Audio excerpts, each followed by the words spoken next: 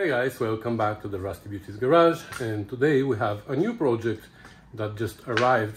Well, I guess you already saw the title and the thumbnail, so without further ado, let me introduce her to you. Yep, she's right behind me.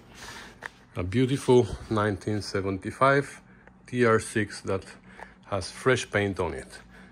Right, so if you remember, um, maybe a year and a half ago, we installed a J-type overdrive on a transmission that came originally with an A-type.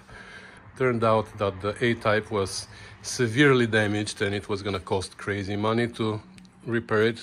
So the owner bought another overdrive, a J-type, and we installed that on the transmission. So that's what's in this car.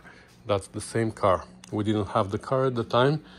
We only had the transmission. Now we have the car here she's uh, in a great shape. I mean, she's been, um, there were a few little patches of rust, the owner told me, that they repaired and then they painted it. It's not an original Triumph color. He told me that's, um, okay, can't remember now what he told me. Anyways, she's freshly painted and he started um, assembling her. Obviously still has lots of work to be done inside but uh, most of it he's gonna do himself but there's few little things that eh, not very little but one two three things that we need to do maybe four. So one of them is the soft top. So he bought a new kit and he has also the old parts from the old top. Even the old top is inside here just in case. So the frame is over there. That's one of the jobs. The other job is to install the windshield because there's no windshield on it. I have it uh, hidden somewhere so i don't break it. The windshield we're gonna bring it up later. I think the first job is gonna be the, soft top. And um, what else? Um, the locks. He wants me to install the locks on the doors and maybe maybe we're gonna work on the wiper switch. He has an interesting idea here. Somebody's already done it. I'm sure that probably many of you know about this. It's a variable speed switch. So you can have uh, intermittent with variable speed and then you have first and second speeds of the wipers. So um, he installed the switch but the wiring is not uh, done yet. So maybe we're gonna do the wiring. He's trying to find the source of information that he had a few years ago. And uh, if he finds it and gives it to me I'll do it for him. If not he might be able to do it himself later when he finds the information. So these are the jobs that we were contracted for. And of course we're gonna test drive it and we're gonna see if the overdrive operates because he never drove it after I um, installed the overdrive on the transmission. He actually, a few months back, he emailed me and he asked me how to wire it and I showed it to him. So we will see if he wired it properly and if it operates or not. So yeah, anyways, without further ado, let's get crack-a-lacking.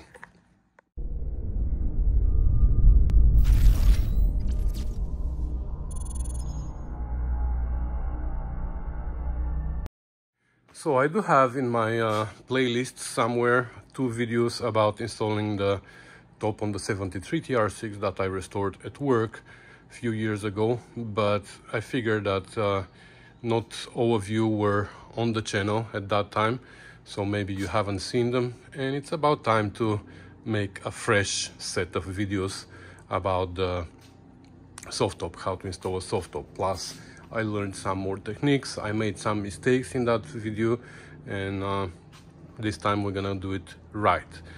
I installed four or five more in the meantime, so I have a little bit more experience now and have a little bit more experience filming and editing, so maybe I'm gonna provide you with a better information, with better angles and all that good stuff. So uh, first thing that we need to do is to install the frame. So we're gonna install the frame and we're gonna make sure that it latches properly. We're gonna make sure that it lines up with the glass here and everywhere because that's very important.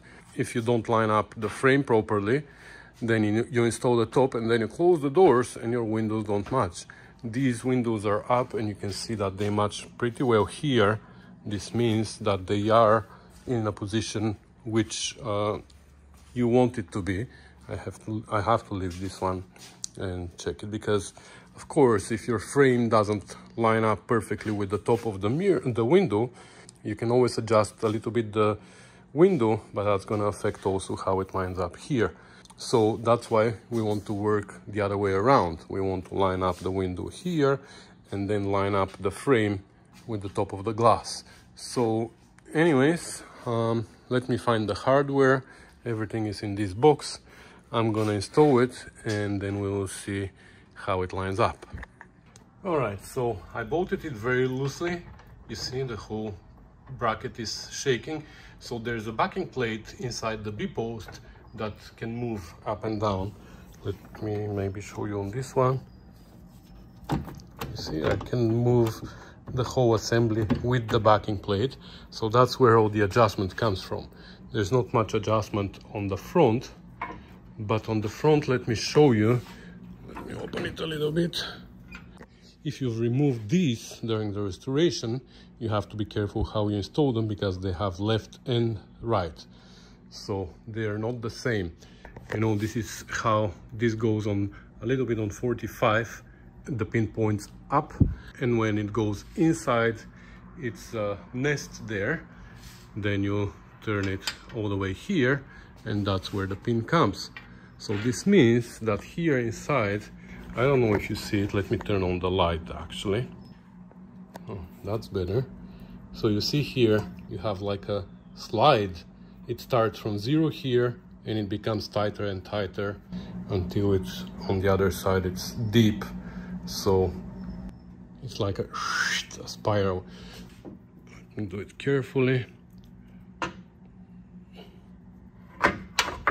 Like this.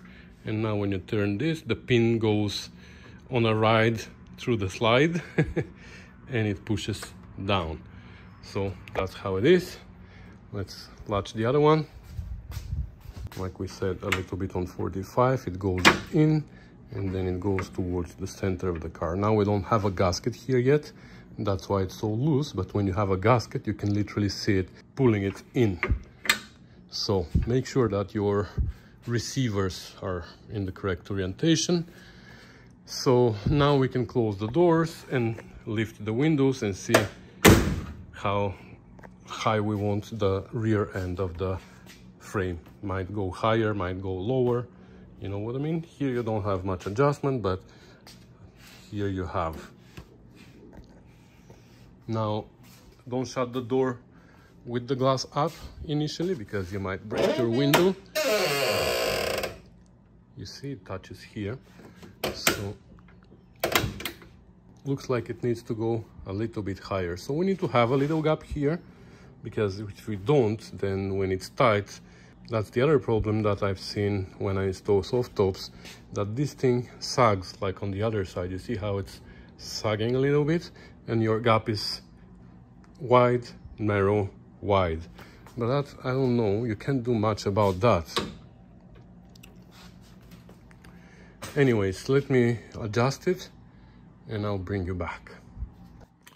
All right I tightened them actually as high as possible. I went all the way up and on both sides and now it looks pretty good here. I mean we like that. So so that's where we're gonna leave it and now we can start with the installation of the top so first we're gonna have to install the plate here this one. Plate or what is it called? Does it still have a no doesn't have a sticker. But anyways that's what comes here. And then from here from these notches we have the straps. They're like a webbing that goes everywhere on each of these bows and ends here on these holes here so for that, uh, first of all, I'm gonna chase these holes with uh, a tap because I want to be able to screw and unscrew them quickly. and uh, then we're probably gonna put some masking tape here around so we don't damage the paint. So we because we're gonna have to put it on and off multiple times i don't want to be responsible for any scratches on this car. Right we have a small problem here. I can't find the new webbing. So i went through all the parts that the owner brought and there's nothing like a webbing here. He brought this but this is something from luggage or something. It has a buckle so it's not that and it's very little anyways. So can't find it. Checked also in the boot. Nope. This is a gasket for the gearbox cover? This i don't know. Gearbox cover. That's the hardware for the gearbox cover. And checked inside as well. Nowhere to be found. I know for one car I used uh, seat belts which was actually pretty good idea. Unfortunately I don't have seat belts. So I messaged the owner and I told him I have the old one here which it's not in a bad shape. I mean it's pretty solid and it's been removed carefully so we can reuse it. This side is not faded so i can put it so i can spray this side a little bit. I have like a vinyl spray so i can spray it black and use it this way with this side up which i think it was supposed to be this way anyways. Anyway um, we'll see what's gonna what the owner is gonna say. Maybe he has the new one somewhere in his garage so unfortunately we can't continue with this job, but we're not gonna waste time. What we're gonna do is we're gonna take the vinyl and uh, Velcro that come here and we're gonna glue those in the meantime. And if we don't hear from the owner, we can might we might even start installing the seals here. There's rails with seals inside here, which is gonna be easier to install now before the top is in anyways.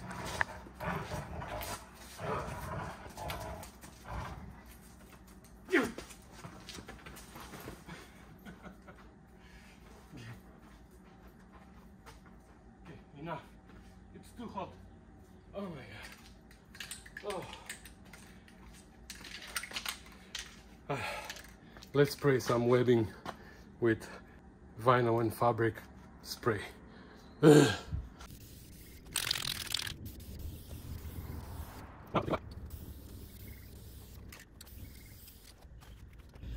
try on this one I'm gonna try the other side first I'm curious to find out if this is gonna become better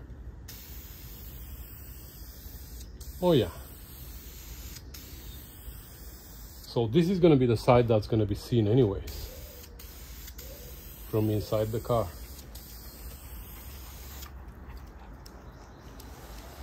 But we're to spray the other side a little bit more. We're to give it a minute to dry.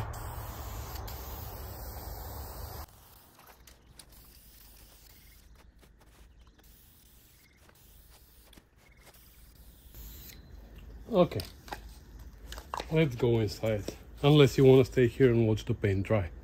All right, so we have four pieces of uh, vinyl with Velcro stitched together. And we have two long ones and two short ones. The short ones are for the front piece, as you can see for here, and the long ones are for the rear piece. And the Velcro needs to end up on this side of this rail.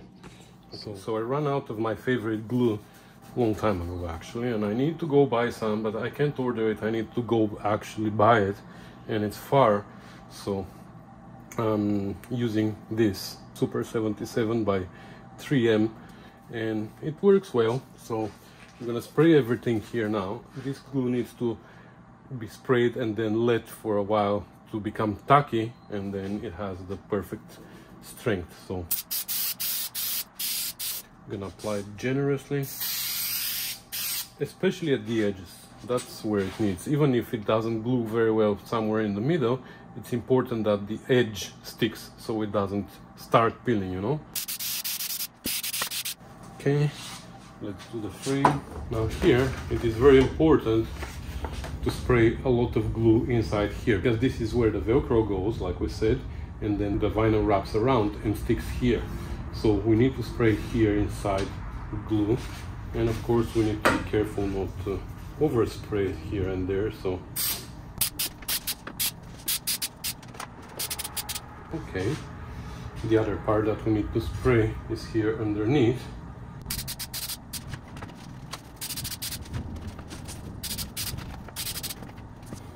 Oops, I think I always spray it on the windshield. Right. Alright, so we sprayed the other side as well. And in the meantime, this side is pretty sticky. So that's what we want. So the short one goes in the front, like we said. So we're gonna start from the center to the sides because we might need to cut a little bit at the end. So I'm gonna stick the Velcro, that's the important part. We want the Velcro to match the sides. There you go, there we need to cut a little. Actually, let me stick this one as well.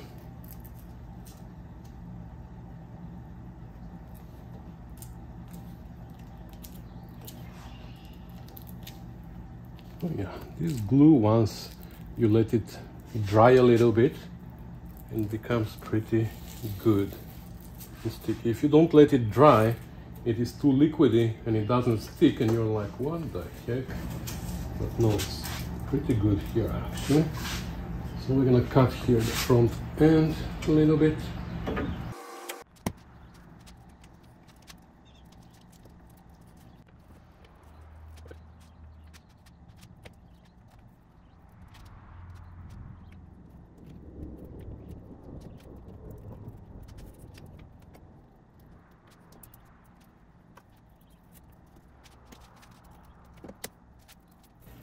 okay this side is done let me show you.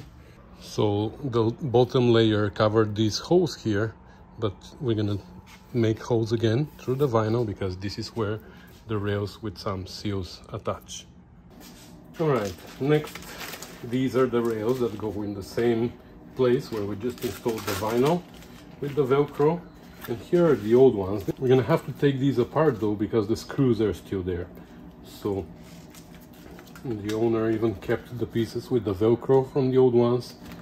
So anyway let's take out the screws and see if we have the nuts because the nuts are not here. Okay so this rail is installed one the front one but the I left the hardware loose because now you can see that it can slide left and right and that depends on on the glass when it is closed and also you see the holes are slotted. So these holes are slotted this way and the holes on the rail are slotted this way. So you can have little adjustment in this direction too. So this one I I started bolting this one but I wanted to show you this before I do it. You see it needs to be bent a little bit so it can follow this shape to state the obvious. Okay so both are now installed both rails and um, ideally it would be great if we could put the seals now and then close the door and then adjust the position of the rail with the seal. The problem is that the screws are inside and if we put the seal, we're not going to be able to put the screwdriver there. So we have to kind of estimate So we're going to close it and you can see here that this the glass is actually under tension here already. So that's where it's gonna be. So in this case the rails are pushed all the way in. But in some cases you might need to pull them out. So that's a good place for them and now I can go ahead and tighten all the screws.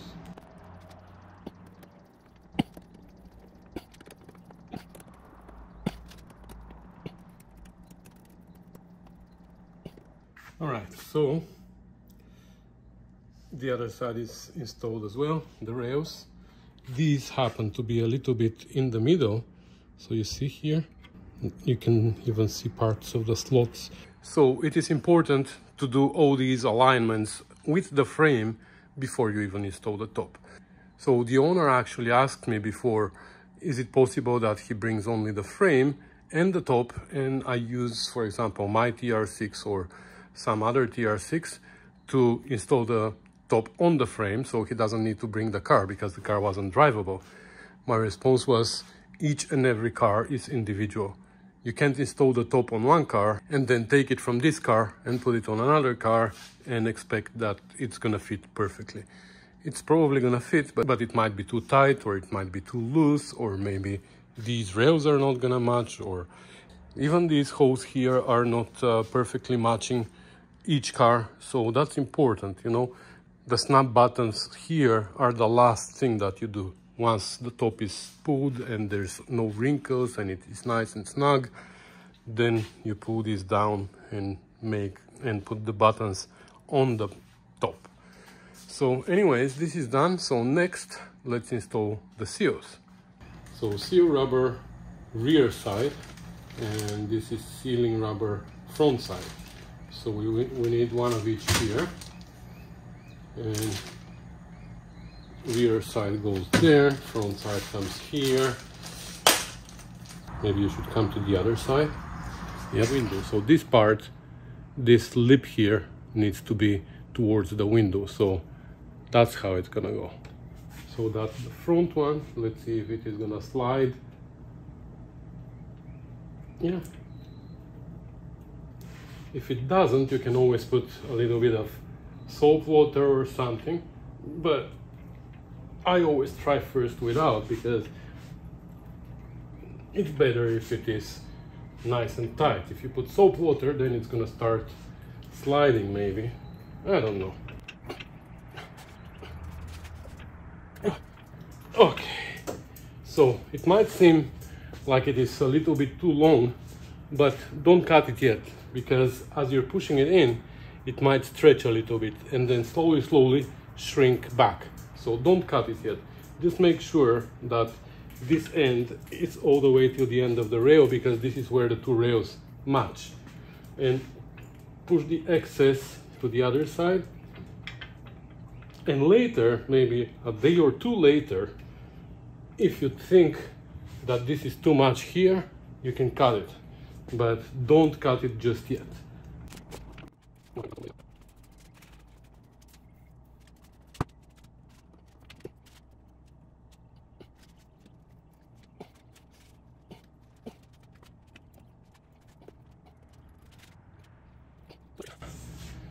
But you will see what's gonna happen with this one here. That's gonna be fun. Oh, that's always the the hardest part to install the seal in the front. And again we're doing the same thing we're gonna align this end here and the excess we're gonna put on the outside here in case it shrinks. All right let's see how it what it looks like with the window now. There you go. So all right. So looks good. Okay the other side the seals are installed as well the front one touches pretty well the other side is the same the rear one not that much even though it is all the way to this end it doesn't touch really well. The window touches the, the metal first before it touches the seal. So that's how it is. Anyways, um, the two straps are painted, as you know, but I still don't have a confirmation from the owner that it's okay to do that. So I'm not gonna reuse them yet before I hear from him. I can't install the front seal because the actual top goes around the lip here and needs to tuck underneath and then the rails are installed and they overlap the vinyl or it's cloth in this case. So I can't do that. That front seal goes last so unfortunately I'm gonna have to pause here and wait for the owner to respond in the meantime though I'm not gonna pause completely, I'm gonna pause the video, but I'm gonna start a new one in which we're gonna install the windshield. So the next time you see me probably, I'm gonna have the windshield on the car.